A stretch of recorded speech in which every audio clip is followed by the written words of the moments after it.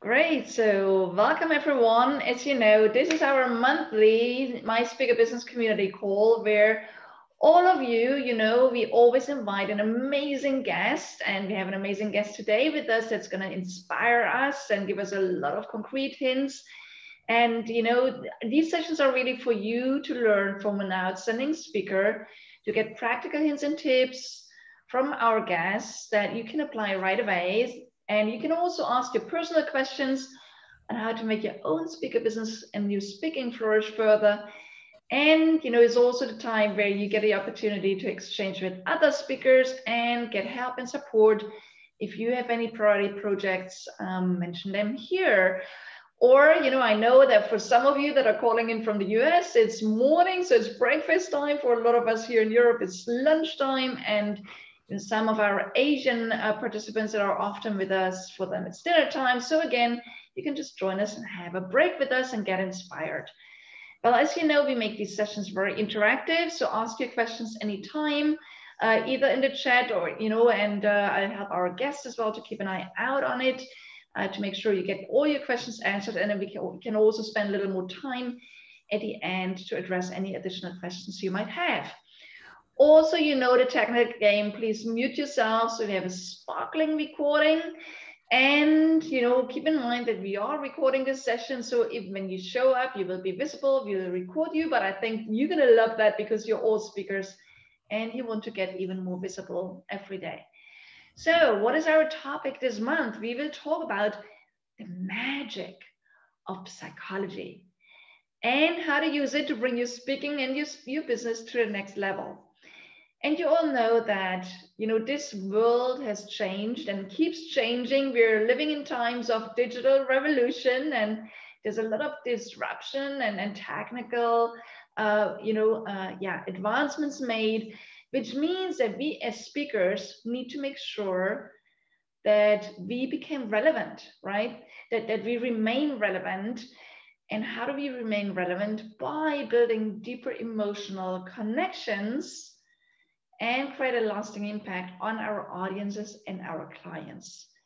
Well, today we talk about what are the psychological phenomena and mechanisms that you can use to create lasting impact on your audience and your clients. And also we talk about how can you use the psychology of payment to raise your fees, right?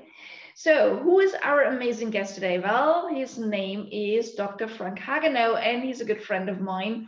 Frank and I met when we the first time when we were uh, when we were meeting in Namibia last year at a Plan B summit, which was supposed to be the Global Speaker Summit, but even at that time things had changed already.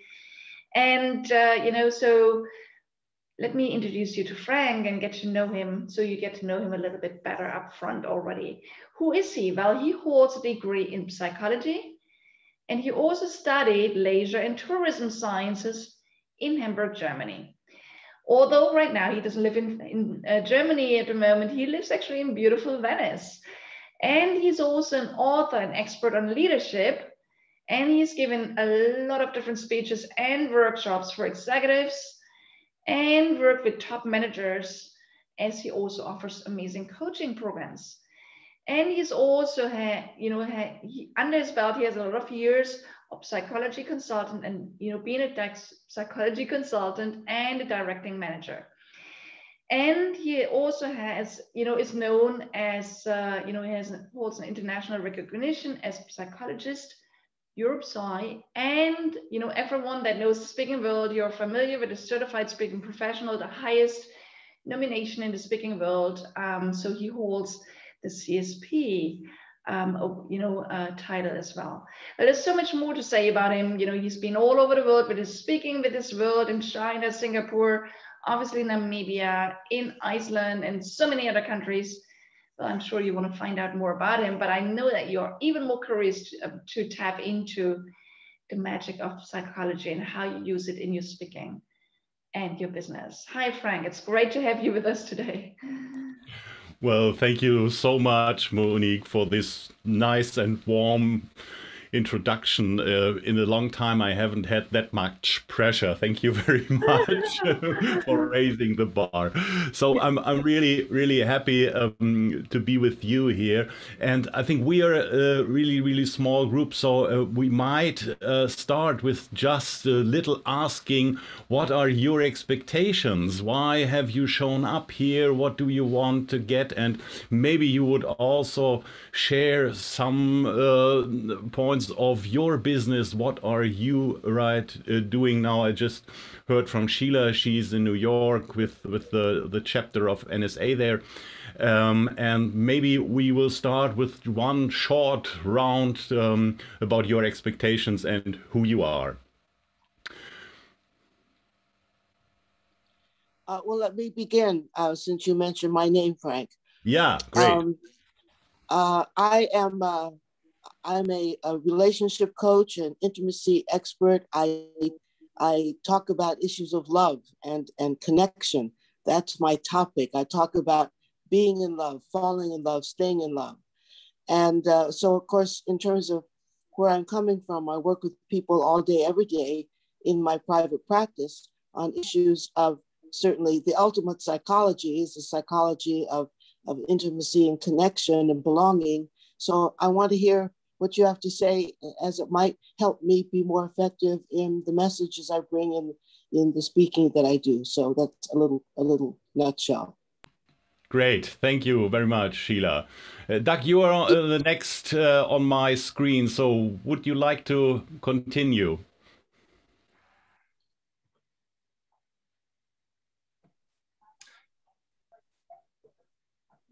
Thank you, Dr. Frank.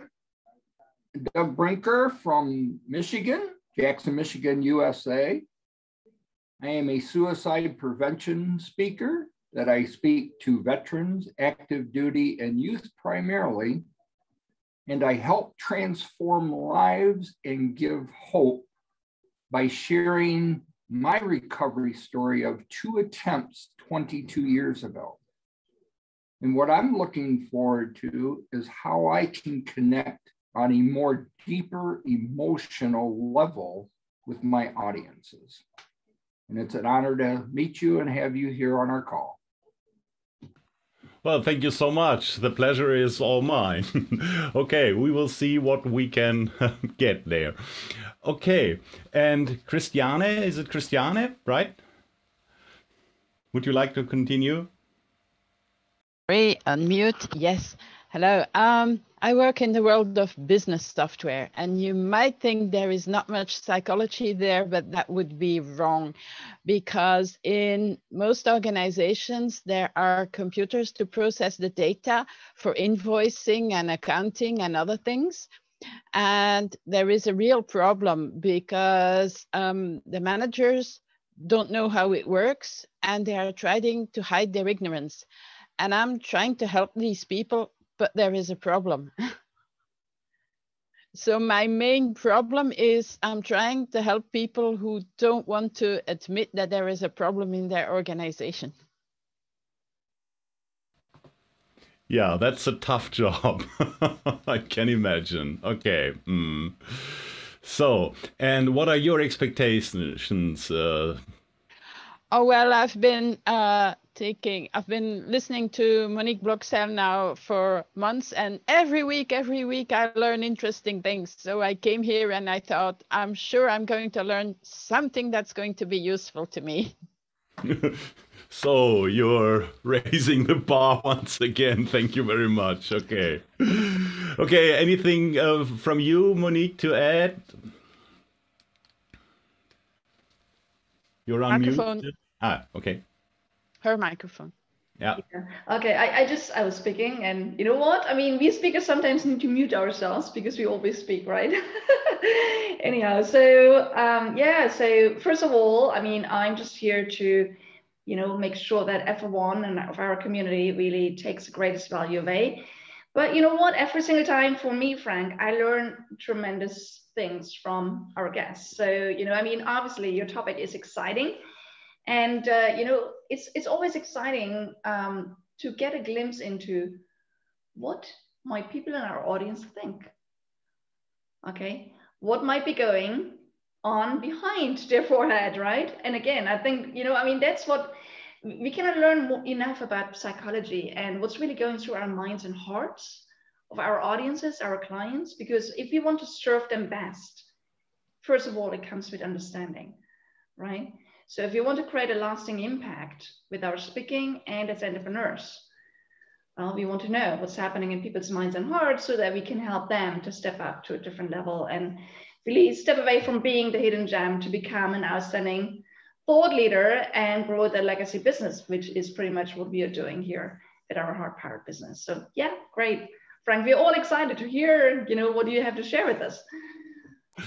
Yeah, okay. So without further ado, um, I would like to get into this uh, topic um, because my idea um, is that, uh, as you all know, we are working um, um, with audiences. And the question is always when we show up for, let's say, one hour on stage, how can we stay in the minds of our audiences, uh, in the minds of our buyers to be remembered uh, not only for the next day or week, but maybe for the next months or even better years. So uh, we have a longer lasting impact. Um, on our our audiences. And of course um, it's about negotiating higher fees. So how can we uh, negotiate higher fees?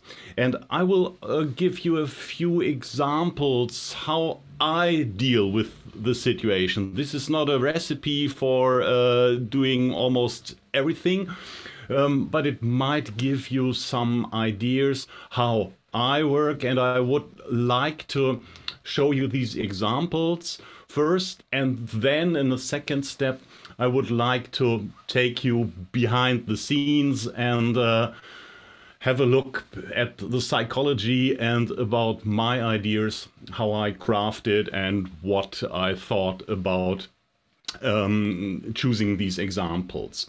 Um, and the first first question uh, for me is always uh, to deal with prejudices about psychology. Because as a psychologist you always are mostly confronted with with three three um, prejudices.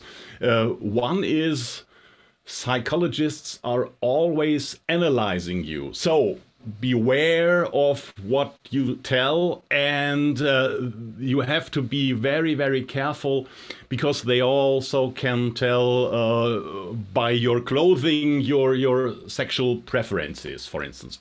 Um, which is true by the way. But the second the second um, prejudice in we are always dealing with is this soft skill attitude psychologists are connected with. So it's all about love and being kind and nice and hidey didey didey, and not about so much business. And uh, and the other thing, uh, the last the last prejudice is that psychologists only studied psychology because they are themselves crazy and want to treat themselves in a way. So um, the first step for me is always why should manager listen to me? Um, and uh, the first question is where can I um, get the connection so they are willing to listen and invest their their time? And um, my approach is always I grab them by their well important parts. It's the money thing yeah? And um, about money telling about um, money. Um, and let me um, shift to my my slides here. And i think i can also um, drop down a bit here in the corner. Just a moment here we are. Um, and so my question is always why should they listen? And it's about money because um, I tell them that every third employee is unsatisfied with his or her boss. And, uh, and this leads to costs. And there is a, a Gallup study um, which is uh, well done in uh, Germany, I think two years ago, and they came up with a number, a number 105, and this is the number 105 billion euro loss. And this is a, such a huge number i always have to imagine how many zeros are followed. This there are nine zeros followed by the number. And this is the the loss annually in Germany only because of unhappy and unsatisfied employees. Because these employees, uh, they are doing lower performance.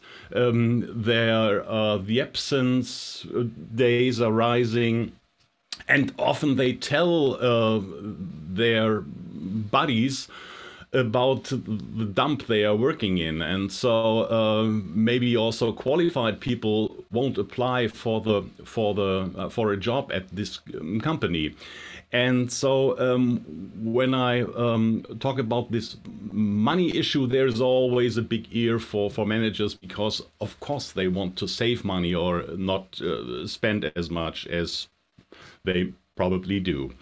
And so uh, the, the, the question is always um, how can I get to their emotions and uh, uh, Monique just you, you just mentioned it um, if we are able to connect with the emotions of our audiences, this always means we got a better chance of having a deeper impact.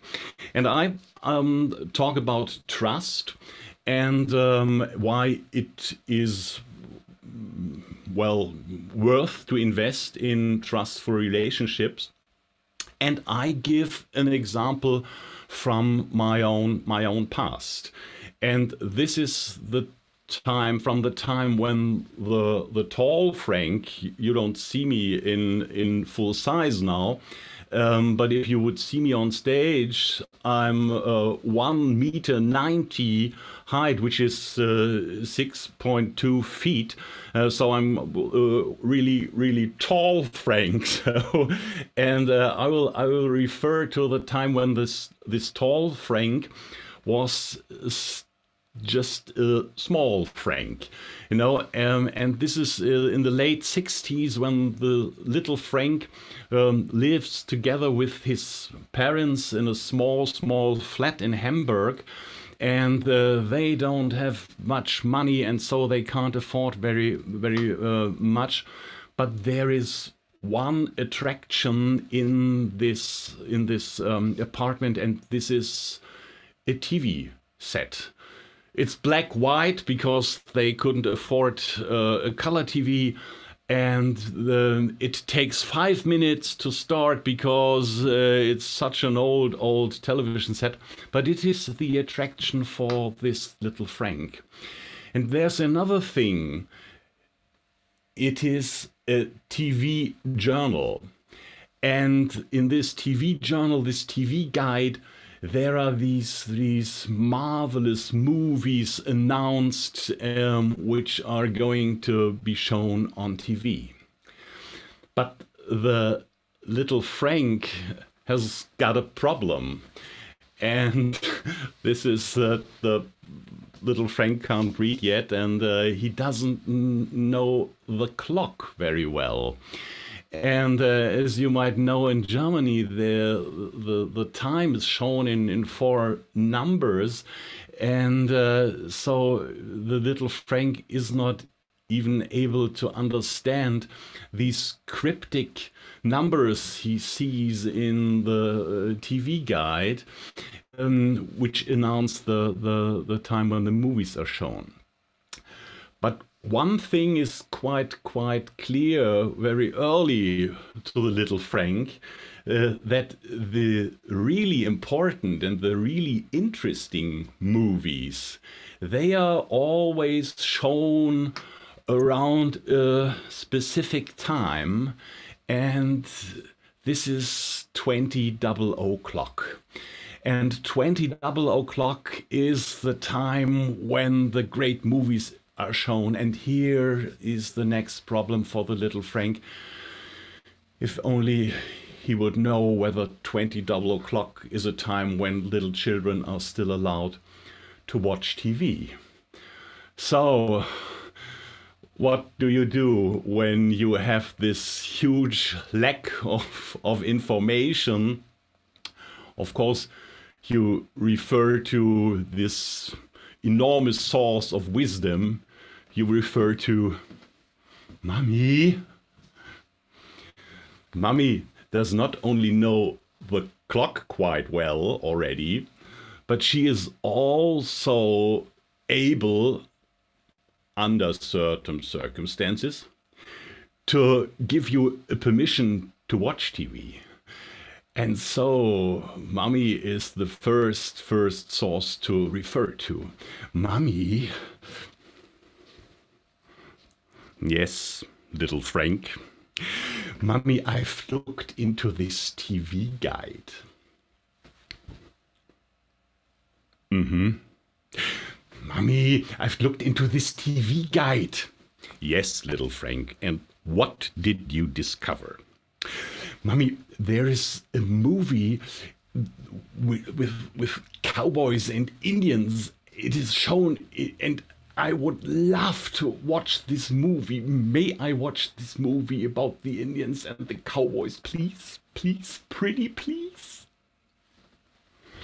Hmm. When is it shown, little Frank? Uh,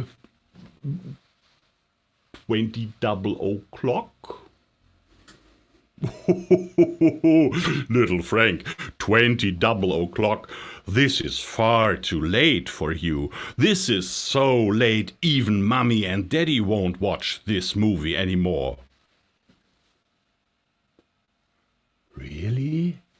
Yes, this is far too late. Everybody is asleep when this movie is shown.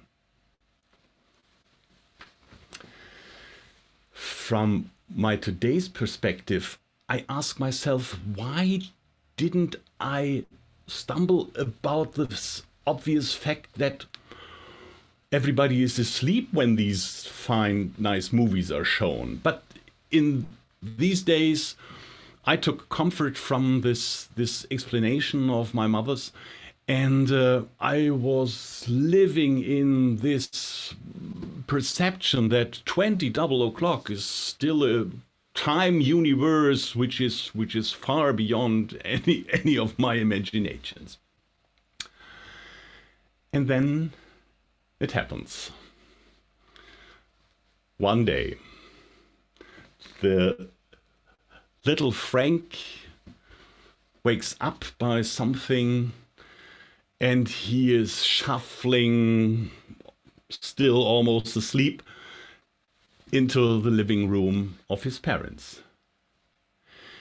And there is this big TV movie party in a full swing.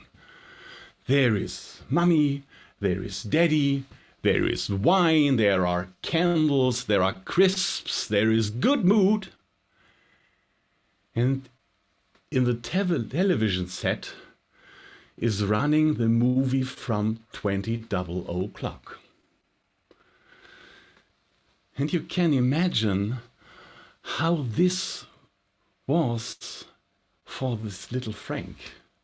This was some kind of betrayal I felt, you know, because my mother obviously lied to me, and I couldn't have imagined that even before, because I thought my mother uh, will always tell the truth and so this was my my last day in paradise of of trust and and and um, well thinking of my mother uh, won't won't tell a lie to me and from this moment on, I was really, really skeptical about almost everything my mother told me. Um, and I thought maybe even this guy, there's something even wrong with this guy. Maybe he doesn't even exist. And so um, it's bound to trust. And for me, trust is the, re- the resource of the future. And um, this is something which is also happening often in business that people in business are using mind games or psychological trickery to well to reach a, a goal on on the short short term perspective but they won't be uh, having in mind uh, that they will uh, sacrifice the, the, the relationship, the trustful relationship, and I'm I'm sure you know it from your own um, experience, professionally or privately. Maybe as a child or as a grown up or even as, let's say, a matured pers personality, that if we feel betrayed, if we feel manipulated, um, if we feel used or even misused, um, abused, the relationship isn't anymore as it has been before. And it never will be again. And so, my approach is to leaders um, that, it, of course, it's not easy to build trust because trust is something which rises in your counterpart. This is nothing you can build actually, um, um, uh, well, um, deliberately, um, because trust rises in your counterpart when when he or she um, decides for herself that you are trustworthy. So trust can't be built. Trust has to be earned, and um, so the, the, the question is always for leaders what can i do and uh, and one approach is okay you can build a climate where trust can grow and um, well if you want to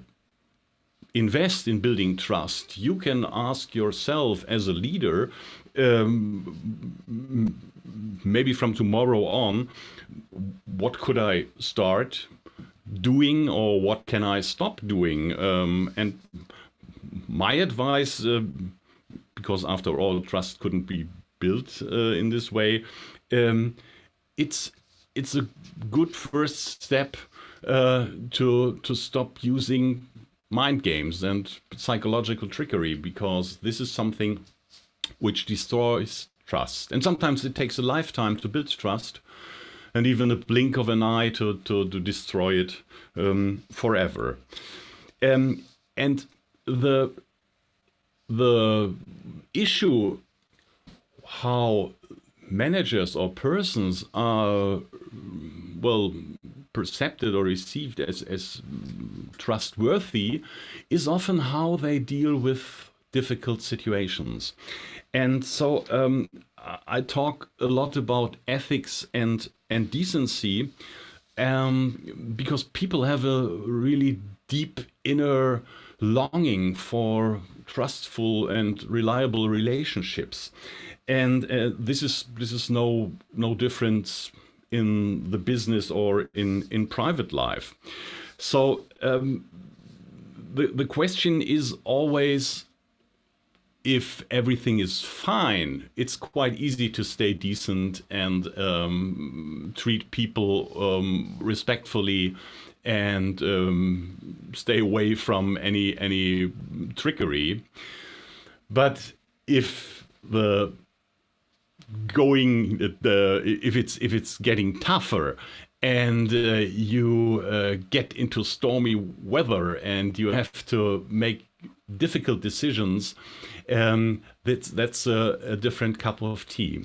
And so I would like to share with you, because this is something I also share with with my audience, um, a little tool um, for really really tough decisions. So I'm not talking about the decisions which are usually difficult, like managers or executives have to decide uh, several times uh, during their business day. Uh, and have um, to make difficult decisions. But I'm talking about really, really difficult decisions.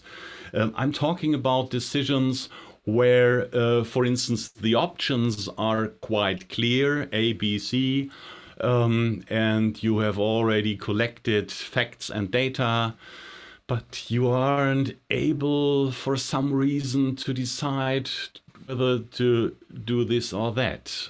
Sometimes you're in an inner well, in a struggle, in an inner conflict, blocked, um, and uh, don't know what to do. And for these these um, special occasions, I have a little cool I, a tool I call the the ethics compass. Because the ethics compass or the compass is a, is a, a nice, nice metaphor for me because a compass is a, a tool, an instrument you can use when you have lost your track or your goal and it helps you to get back into the right direction. And so this is the reason why i choose this this compass as an example. And if you look at a uh, compass you usually see these four letters n e s t for the four directions. And uh, in my compass there is for every letter is one direction you can think um, in a really tough situation. So let's start with the letter N. N stands for network. So think of your decision. Uh, you made your decision what would your network think about your decision? What will your boss think? What will your colleagues think? What will your wife, your husband, your partner think about your decision? What will your best friend think about it? And the next letter is the letter E, and E stands for Ethics Committee. So imagine your decision is given to an ethics committee afterwards and they have to rate and to prove and to think about your decision. What would this ethics committee think of your decision? And the next one stands for second time. So imagine you have made your decision. Would it be possible to make it a second time? And would it be also still okay to do it in this way? Because if not, if it only would work once, this might be a hint for some psychological trick, uh, something which only works once but not twice, because people might get fooled once, but they won't get fooled twice normally. This is the reason I, I personally uh, like to do magic tricks. Um, and there is one rule you don't repeat uh, a magic trick um, at one audience because you don't want to be the trick revealed. So, um, and if you do it again, people would might look at the clue and know what it is about and maybe they will figure out how the trick is done. So second time uh, wouldn't wouldn't work uh, with with tricks normally. And the W stands for World Wide Web. Think of your your decision going viral uh, in uh, the World Wide Web, or think of your decision um, as the uh, top line of a newspaper how would this be? Would this be embarrassing for you? Would this be a catastrophe, or would it be would it be okay? And so this is uh, something you you might use for um, later um, difficult decisions because I think that um, because of this strong inner longing for these trustful relationships, managers and, and companies who, who are able uh, to refer to this this longing they will always be ahead of their competitor on a long-term perspective. And uh, this is something which is my message to, to, to managers. So so far, uh, he, my examples here, this little Frank story and this ethics compass um, as a as a tool, and uh, I would like to take you now behind the scenes and and have a look um, about my my ideas and I call it uh, the steps to success. This is a flip chart I would use um, if we would have met in person, but uh, I took a picture of this this flip chart. And it starts for me with the first step, or uh, even with step zero. Um, let me see whether I get out of here. Um, it's a little bit difficult to see, I guess, but I will explain. This is my first step. It is the moment when I uh, receive a request. You see the blue guy, this is me with my message, and the green guy is the buyer, and he has uh, a little little sign there is written um, objective on this sign. And this means the, the first step for me is to get in touch with the buyer when I got a request and to get to know what are their objectives, what are they aiming for, what do they want to achieve by hiring me um, and uh, bringing me in for, for an event. And you see there is also a second sign which is carried behind the back. And it is written on this second sign, hidden agenda.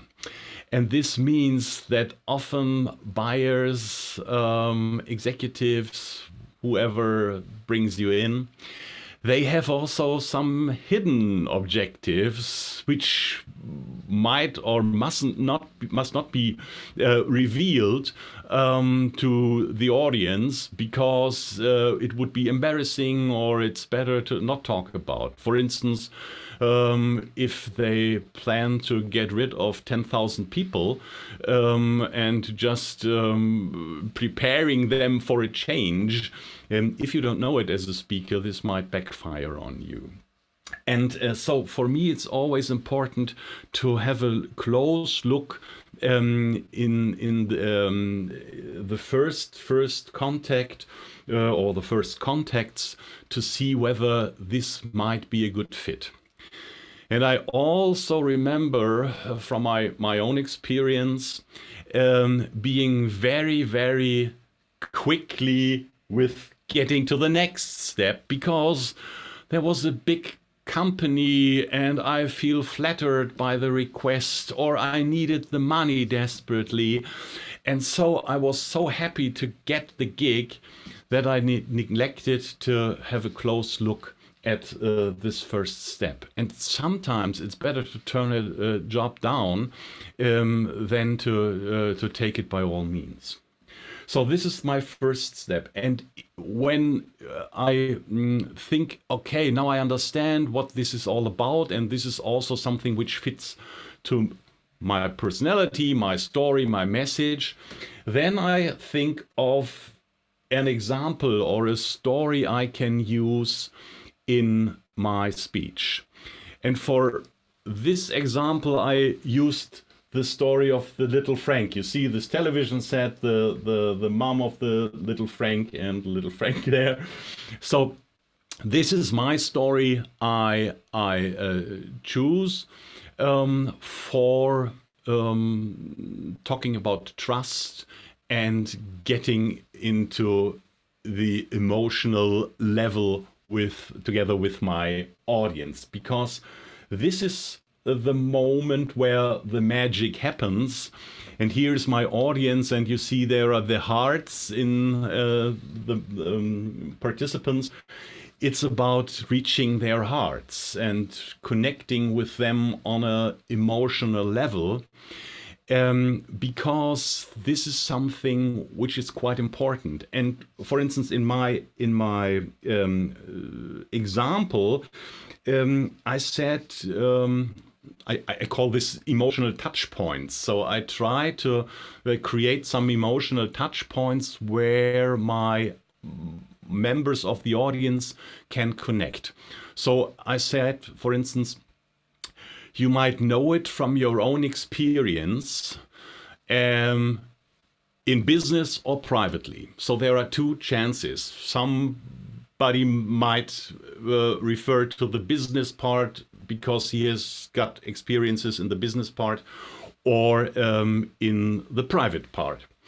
And um, I, the next thing I said, um, maybe as a child, maybe as a grown up or as a mature personality. So there is also a wide range where people can connect. Maybe someone has got experiences as a child, like this little Frank.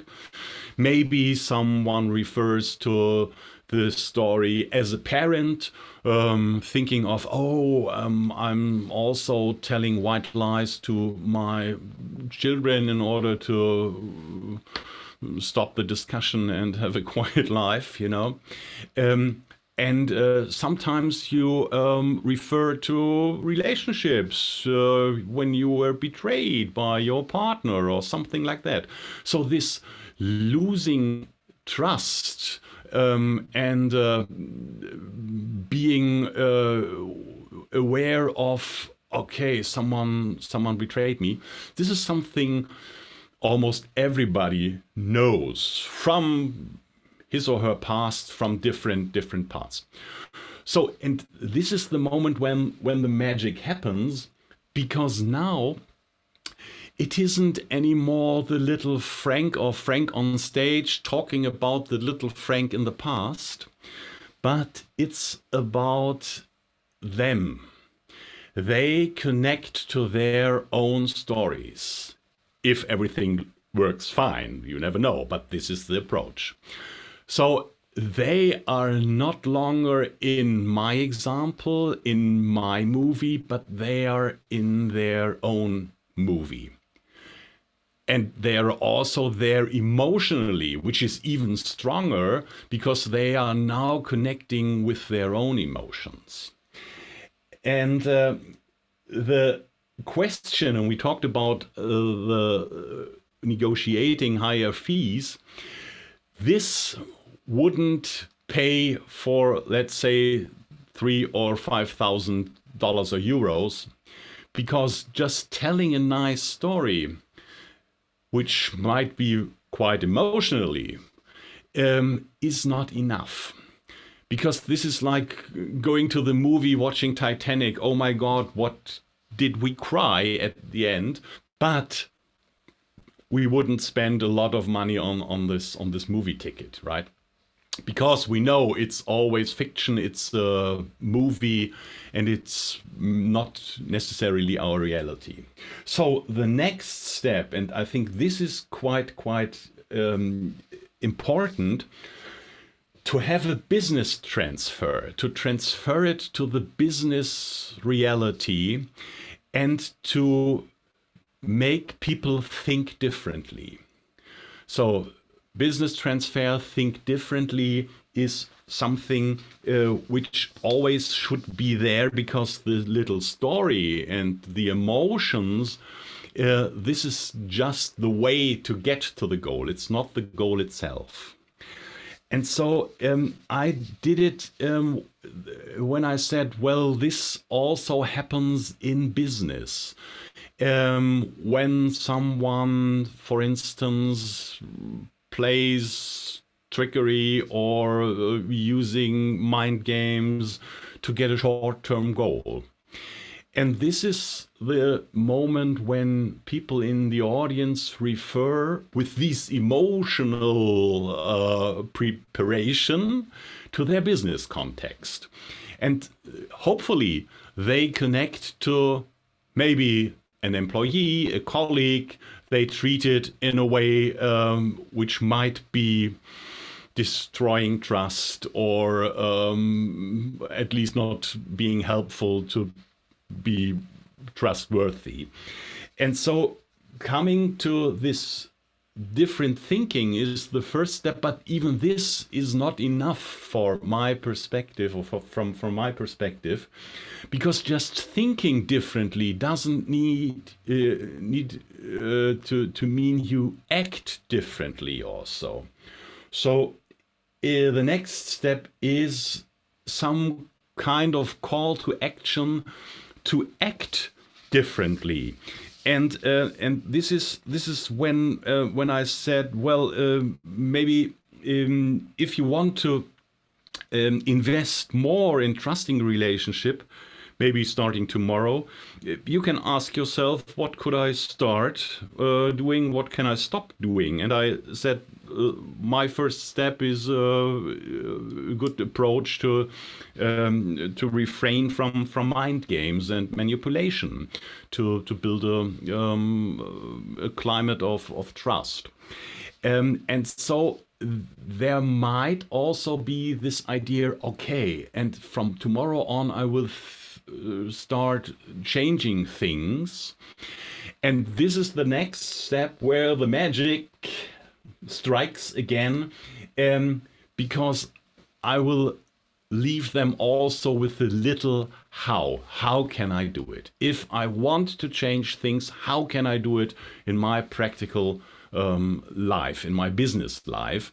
And this is when my magic compass or ethic compass um, comes in because this is something um, I um, give them as a tool. And the next thing is, let me say, I've also got a little um, flyer. Let me, let me, show it to you. This is the little flyer I've got, and uh, maybe I will get little bigger here for you. And uh, it says, stay on course.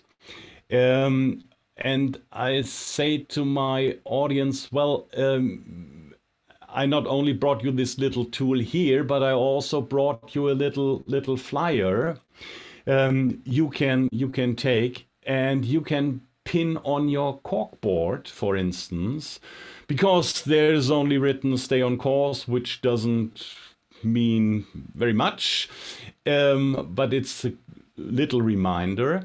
And maybe in two or three months or a year, or hopefully no, uh, never, you might be in a situation where you could use it. And maybe you won't remember these letters or uh, the, the, the expressions the letters stand for. And for this reason, um, on the back side, uh, I've written for you these um, expressions once again. You can see it here um, in, in the big.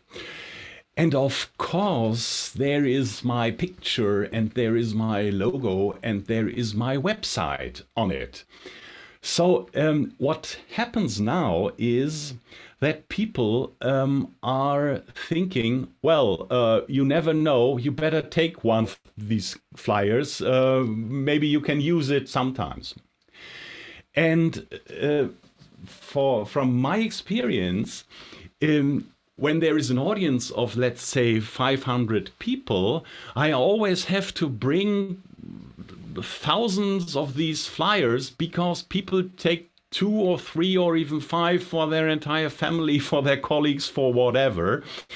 And I receive years after that often uh, some little picture of a corkboard uh, and uh, the, the the guy or the, the, the, the lady says well see here is your your flyer still pinned on my corkboard. I didn't uh, use it um, so far but it's still there and um, obviously, this is uh, um, a good way for me to stay in the minds of people, even if they forgot about me, but maybe they remember my little Frank story or remember this ethics uh, compass. And they might refer sometimes to the idea of, oh, there was this psycho guy from wherever. Was it Germany or Italy or I don't know this tall uh, he told I, I don't know. Ah but here is this little flyer. And of course um, i've also got it in in german uh, when i uh, talk in german. This is slightly different from from the expressions so to make it fit into this nesw um, but it's so inexpensive. Uh, you can you can print these these uh, flyers for almost nothing, and it's something which is really really nice for me to stay in the minds of my audience. So far from my side, and I'm uh, looking forward to um, get to know about your um, comments. Maybe there are questions. Um, let's um, open up the discussion? Well, first of all, for me, a virtual clap. okay, I think that was really brilliant in so many ways. I was, you know, from time to time, I thought like, where is he going with this? But it's, you know, it's been an amazing roadmap you've given. Everyone. Thank you. So I'd like to actually rather give the stage to everyone else, like Doug, Christian, Sheila, and Ivan, and everyone that's with us. Um, because Frank, you and I, we can always talk, but you know, you're here with us, with our community right now. So I want to, yeah, give everyone else the opportunity to ask whatever you would like to know more about. Anyone wants to ask something? Just unmute yourself. Yeah, Doug. Okay, unmute yourself and uh, just come in here. So first and foremost, thank you. Great nuggets of nutrition for our speaking platform, learning, you mentioned in step two of creating that personal story on an emotional level, how deep in for my situation, because I spoke here a couple of weeks ago on the Leaders Edge program from Southeast Asia on a recorded call. And I got feedback from a couple of people that I did not go deep enough in my emotional situation for my experience from suicide. Yeah, thanks uh, for your comment uh, on the one hand, and thanks for the great question, Doug. Um, and um, I wish I uh, would know a clever answer to that, but um, I think uh, there is always this range in the audience for some uh, members. It's much too heavy talking about suicide, for instance. The topic is already overwhelming. And for others, it isn't deep enough. It could be even deeper or deeper or deeper or deeper for what reasons whatsoever. And I think this is something you have to decide for yourself first. How uh, do you feel comfortable with? Um, what is your idea and how emotional uh, would you get? And uh, and you always you always uh, receive yes and no. For instance, I um, often got two um, kinds of feedback. One is, yes, brilliant, Frank, this is something we need. We need more trust and we need a better culture and we need ethics in business. Great. And the other one is, that's rubbish, Frank. Wake up from your dream. Uh, this wouldn't ever work. We've been in business for years and years. For instance, I, I wrote I wrote a book about uh, leadership without mind games in German first. Now it's also available in English, but the, the German book, if you uh, look at the um, the comments um, on Amazon, there are only two two uh, kinds. One is one on uh, two uh, stars and five stars. So there are people who are really polite and don't say it's rubbish, but they don't like it. And others are really, really enthusiastic about. And I think this is uh, something um, which is a great topic from my from my perspective. Which is an important topic dealing with with uh, suicide. Uh, it's a heavy topic. Um, not everyone is willing to get into this. Um, and I, I, I, really I really uh, think it, you're doing a great job there.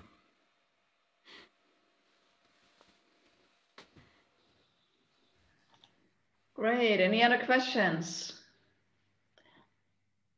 Christiane, it's your opportunity also in Sheila. I could see something, some question in your head.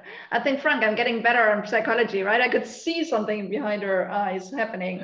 Okay, Christiane, what do you want to know? I think it's an, um, my mic is on, right? Okay, I think it's an important topic in the world of business because um, since the 70s, there have been so many reorganizations and collective dismissals um, that people don't trust managers anymore. In the past, you had companies, especially small companies and family companies, and people trusted the manager, trusted him to be the leader. And then since the 70s, there have always been reorganizations, and now people don't trust anymore. At some point, I was at um, the, the European boss was coming to Brussels to speak, and he held a speech, and I thought it was nice but my colleague said, what should we believe in all that? So it's very important. I'm glad there are people like you who talk to managers and make them stop and think about ethics because it really doesn't work uh, telling all these lies to people, especially not to people with a higher education. I'm sorry, it's not really a question, but I just wanted to say it's ever so relevant. Yes, thank you so much. Um, uh, I couldn't agree more. And, and I would also go one step further and say, even if you are just looking for a dishwasher in India, um, if you have a job for a dishwasher, and there are several dishwashers queuing up for this job applying um, and you can pick every day a new one because there are plenty of them. It's even in this case much better to concentrate on hiring one person and building a long lasting relationship so you have someone you can rely on. Uh, you do not have to train him every day again. And uh, on a long term you are much better off. So even in in, in this case but uh, obviously um, i agree with you especially in higher education people uh, they are um, also able to, to, to go to the competitor. Uh, they do not have to stay in, in the company because they think, okay, nobody will hire me um, elsewhere. Um, yeah, uh, I, I couldn't agree more.